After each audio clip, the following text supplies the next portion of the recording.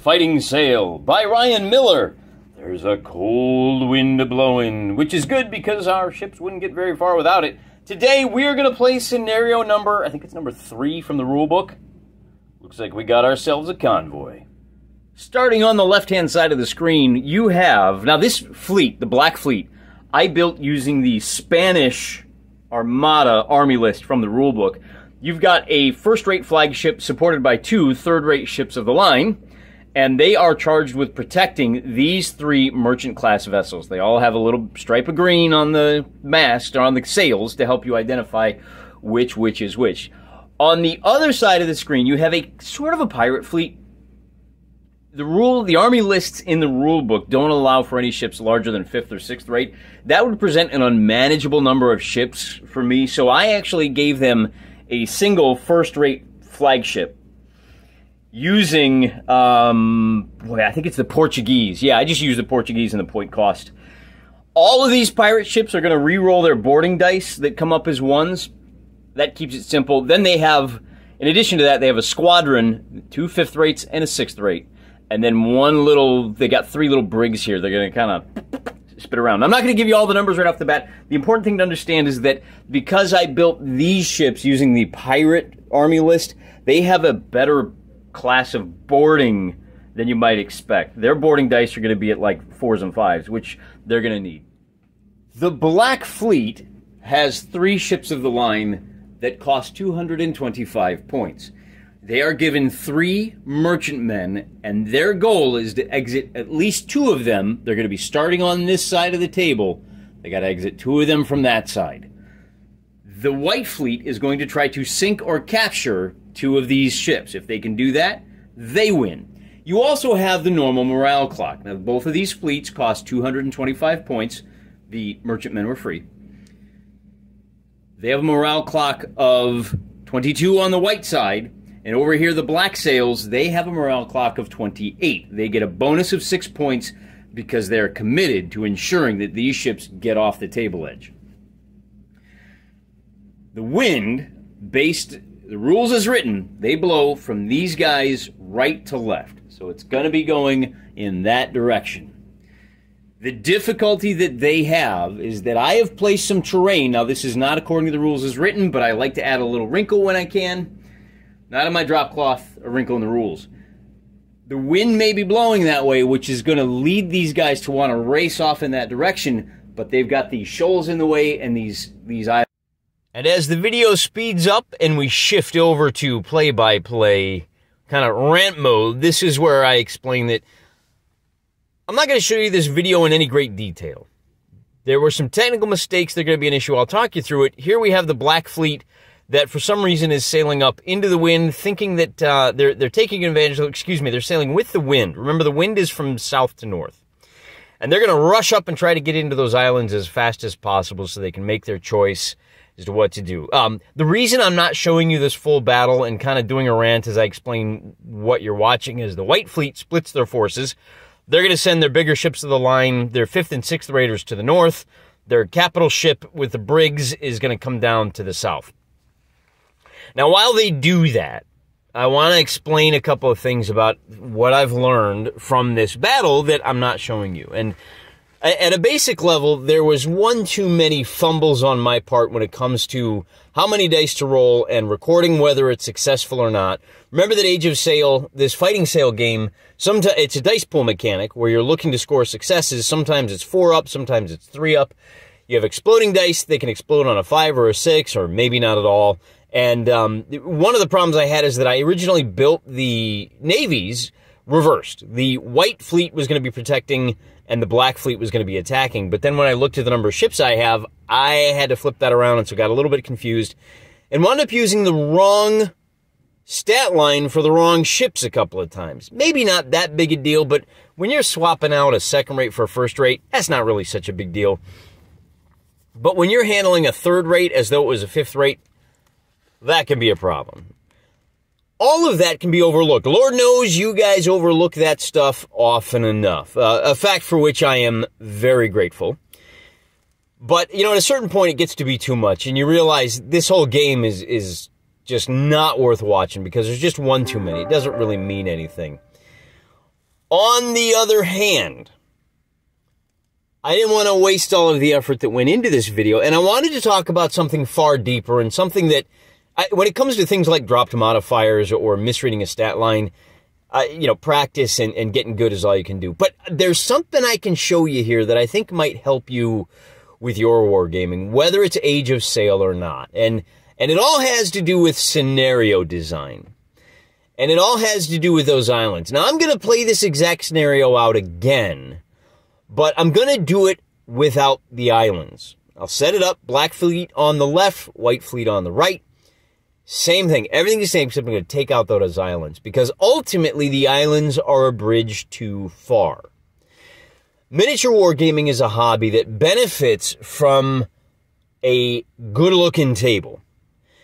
And in a sense, having an open ocean table with no terrain lacks visual appeal.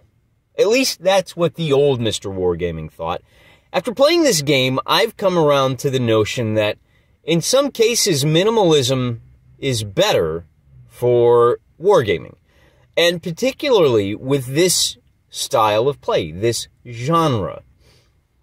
One of my internet friends, frequent commenter Hethwill, pointed out over on Twitter, he said, hey, um, you know, when you've got a game like this, this Age of Sail, where you've got a blank canvas, and the canvas I'm talking about is not the sail, it's this open ocean.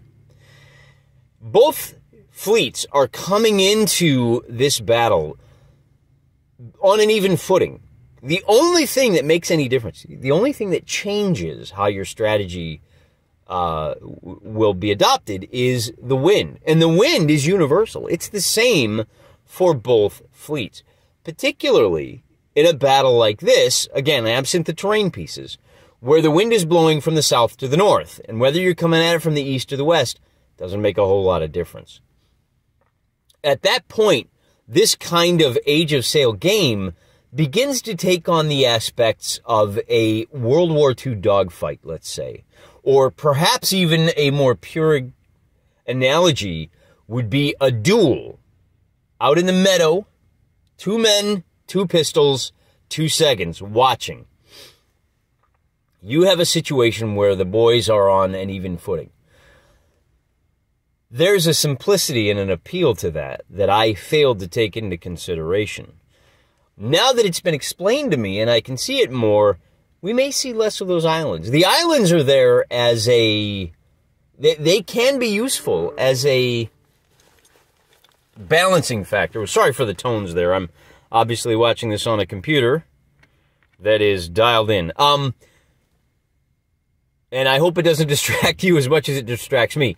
The islands are a spice, and they can be used to level the playing field, so to speak, if you're playing with uneven forces. The difficulty with this battle, and the reason I'm not showing it to you, is that you already have an uneven playing field in the sense that the White Fleet has three goofuses, little one-shot pop guns that they have to protect and shepherd.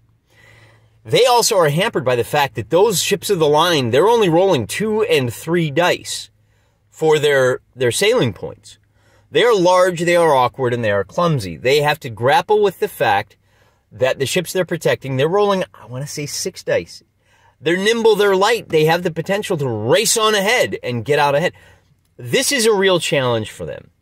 To add in a line of islands and to funnel them through a couple of little areas is one, uh, what would you call it? It, it? It's one hamper too far. It's, it's one you know, they've already got their hands tied behind their backs in one sense because they're protecting smaller and weaker ships.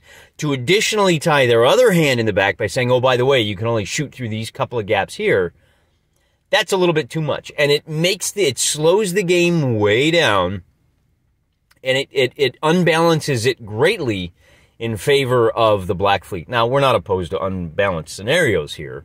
You know, if the Black Fleet is, has the advantage, that's fine, but you need to understand that going in. And, and like I said, this would have been an hour battle, except that we abandoned the purity and, and the simplicity of the Age of Sail on the open warfare.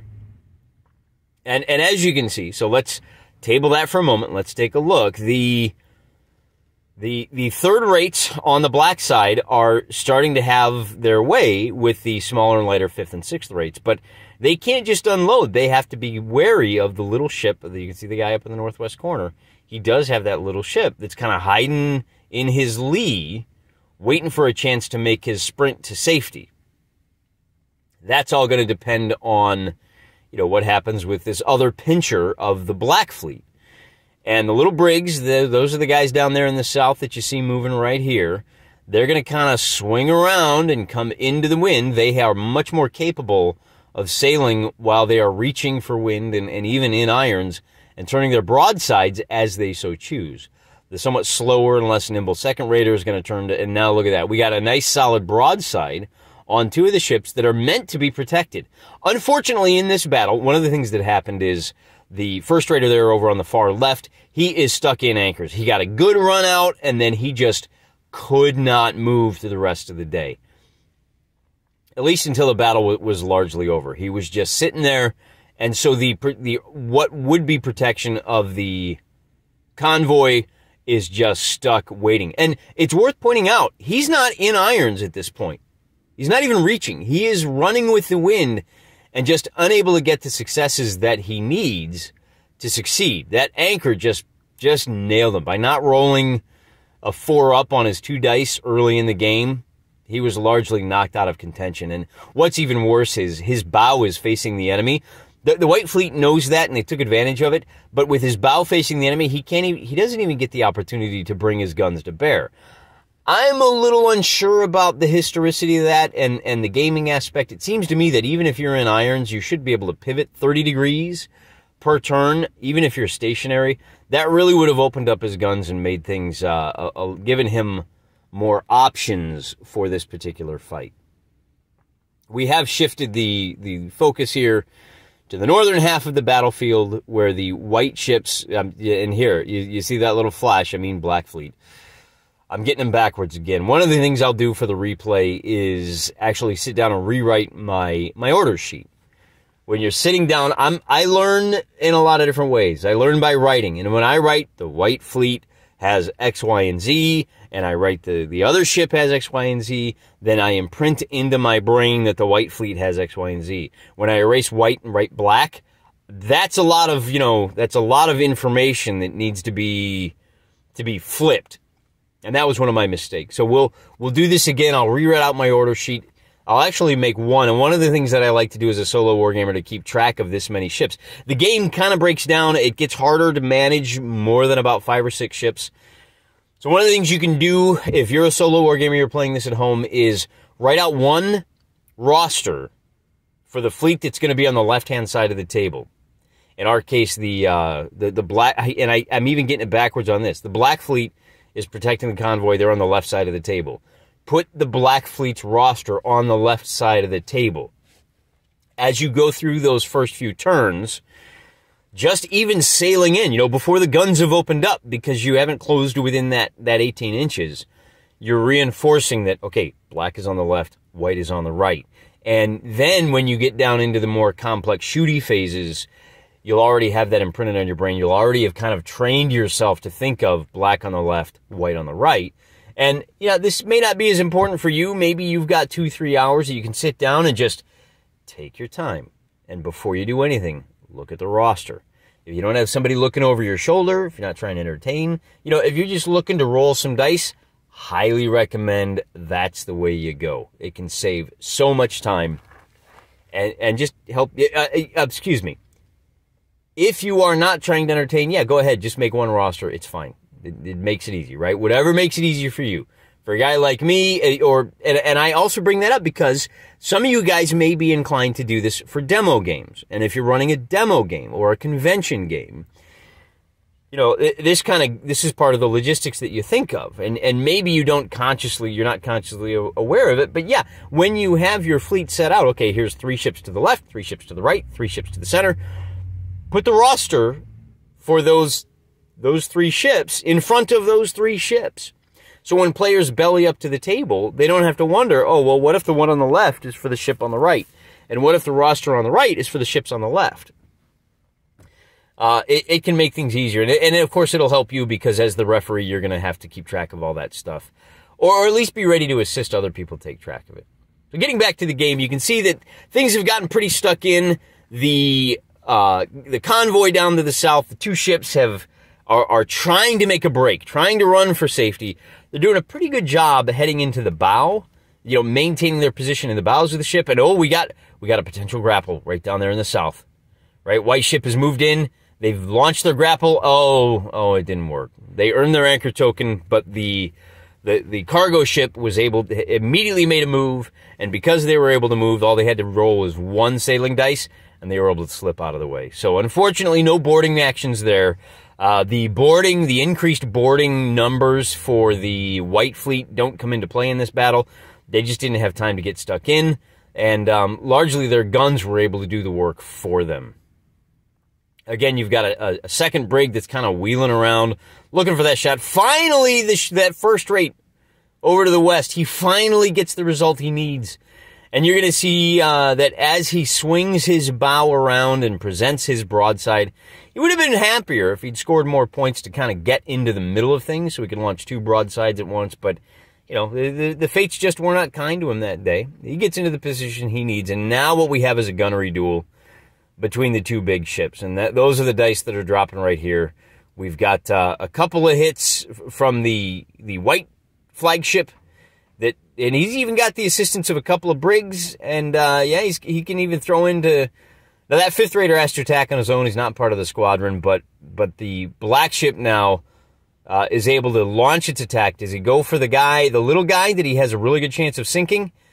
and uh, or we will measure it. Nope, he's going to fire on the flagship of the attacking fleet, and he scores a lot of hits. There's a total of eight hits there, and this is the the one that really sealed the deal for me. Eight hits, four saves. Wait a minute, he's got one more round. He can try to pull off the damage. No, it's five to sink him. Oh, that's a huge mistake. And uh, ultimately, the the protector fleet wins this by sheer weight of morale and sinking the flagship, and that's about it. I'm praying for you. So, like I said, we'll play this battle out again uh, without the islands and with a much better, much better accuracy on our rules. Uh, and I hopefully I'll do that, maybe even tomorrow, just because suspense kills me. It's bad enough waiting for the rest of these campaigns. I'm praying for you.